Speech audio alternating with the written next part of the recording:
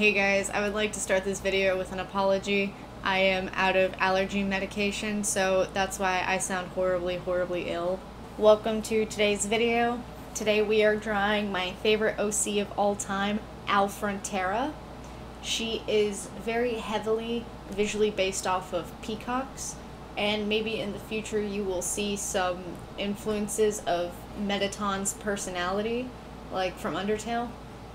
Uh, she's a non binary lesbian that I kind of inject into all of my stories, whether that be a fan fiction or an original concept of mine. Um, before we really get into it, um, I tend to flip back and forth between she and they pronouns, so I guess both of them are fine for this character, and her name is just Spanish for at the border and I thought that would be a cute nod to the gender non-conforming nature of their character. As for the visual design, peafowls are my favorite birds, and the sexual dimorphism between the males and females I think is very interesting. I liked the idea of masculinity being presented in a way that is showy and theatrical and flashy, with your feminine counterpart being more uh, subdued and neutral toned. And I'll go over the influences of the peahen design whenever I draw Princess Hen, but right now I'm more focused on Al's design. I've had this idea for a suit for over a year, and when I was bouncing it around in my head, um, I was considering the feathers to be like attached to a waistcoat or um, and just have like a mechanism that would display the feathers much like an actual peacock. So you would like pull a string or something and the feathers would expand. Or maybe it was just a mechanical piece of clothing that could do that on its own. But instead, I I went a little more simple. I chose the fancy collar, and um, that may imply that they're always flirting and showing off, and there's just a really theatrical, flirty character here with a lot of cockiness. A lot of peacockiness. I forgot a little detail in Al's face whenever I finished this. Um, she normally has a winged eyeliner that better resembles the eyes of an actual peacock because there's a uh, sort of a white strip that looks like winged eyeliner with black lines that surround it. It looks really cool. And it's a pretty small detail overall. Um, it's just something I'll have to remember for the future. Actually drawing Al digitally for the first time, I had to think about elements of the design that I didn't have to consider before. Like the eye makeup thing. Normally her face is too small for me to actually um, put any sort of makeup on the character. And something I'll have to include in a better reference later with actual notes written out. In addition to that, I keep changing the uh, the details of the suit because sometimes it's like a cardigan, sometimes it's like a dandy English waistcoat. It's just never the same every time I do it, and the colors keep changing, even though it's the same every time because I keep trying to figure out where I want to put the uh, the black and white stripy feathers that the peacock body tends to have. You normally don't see it except on like full picture images of a peacock. There's like a black and white uh, sort of speckled area and most people don't think of that part but I wanted to include it somewhere. So that keeps changing. And um, now that I have digital references, the lines are much more clean and I'll just have a more clear reference for them in the future. Like I said earlier, I've written them into several stories of mine. Uh, I haven't finished any of them, to be to be quite honest. Um, none of them are finished, but I I would love to build a legitimate fantasy world around this character in particular um, until their own universe is fleshed out, which is still very much in production. Lots of um, red tape going on there.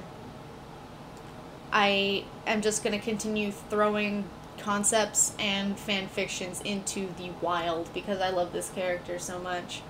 Uh, one of the stories that I thought of as an original was like a fetch quest sort of thing where Al had to collect a bunch of keys to unlock the castle that the princess was held in. And that was that was very Paper Mario. And so it just didn't really stick as an original concept to me. And don't get me wrong, I love Paper Mario. It's just that my story was too close to their storylines for the concepts to read as uh, something original and personal to me. So I kind of had to scrap that one. I, I didn't really connect with the characters that I made up for it.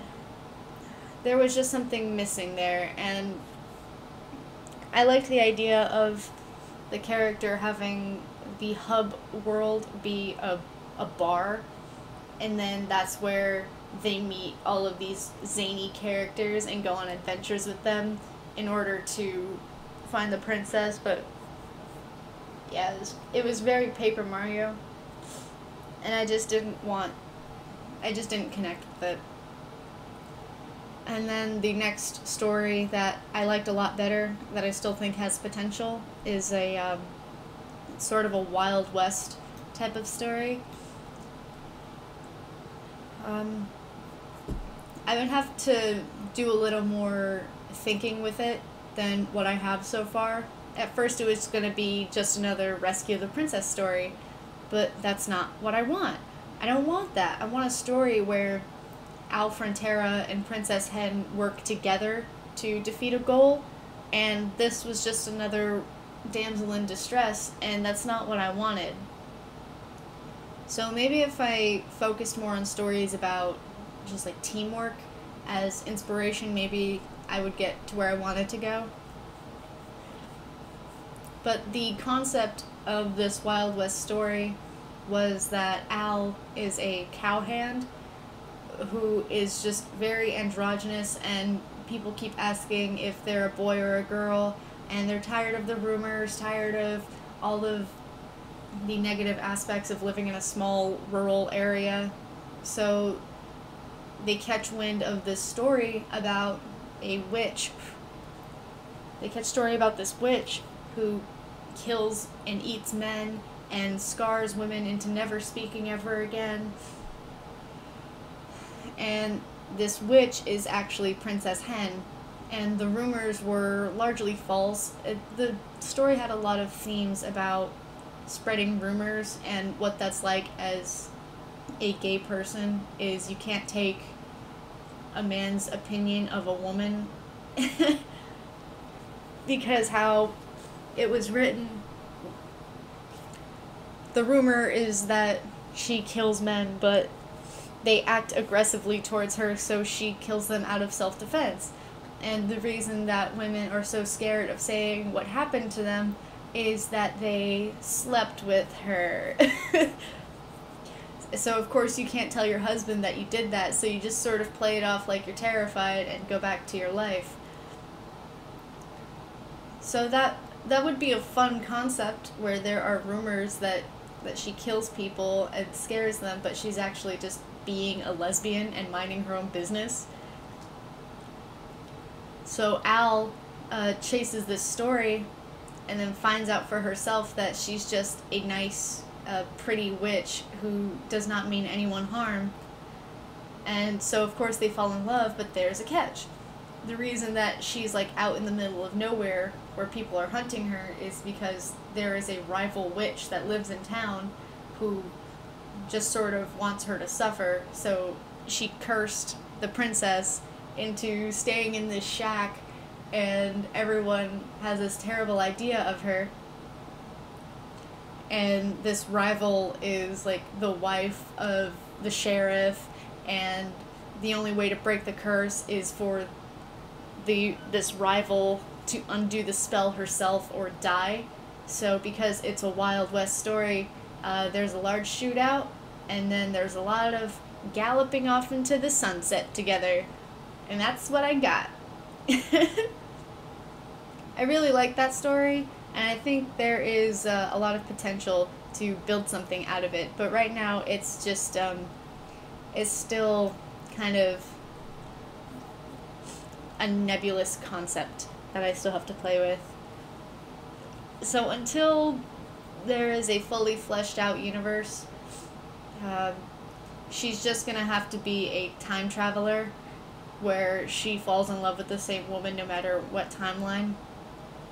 And like I said, there were a couple fan fictions. I had a I had a Pokemon concept where it was similar to the Wild West story. Go figure. Um, I had an XCOM 2 idea. I still have. The thing about XCOM 2 is that you're able to build the characters and put them in a pool so that they show up in the story. And that's really fun because you can just sort of play with them again. Because the first one, you uh, you had to remake that same character every time, and maybe on um, maybe if you got XCOM 1 off of Steam, you could have gotten a mod for that, but I played it on PlayStation 3, so I did I did not have any such luck. So I play XCOM 2 a lot, even though I think I like the first one better. Sorry, I kind of went off on a tangent. So I have Al as a character in my character pool and Princess Hen as well. I generally put Al in a um, in either a a grenadier class or the ranger class. Normally just something brash and explosive, and then Princess Hen is always a psi operative. And that's that for all of my fan fictions. I have not made a um, a Minecraft fan fiction of these characters. Surprisingly, I I don't know. Hmm maybe maybe I can have something there at some point. JK, I'm not gonna draw. I'm not gonna. I'm not gonna do a, a Minecraft fan art of these two. That's silly. And one last thing about the um, character design, I think, is um, I have this idea for a phoenix version of the design. I would really like to see this exact outfit in red and gold as opposed to the navy and silver that I have here.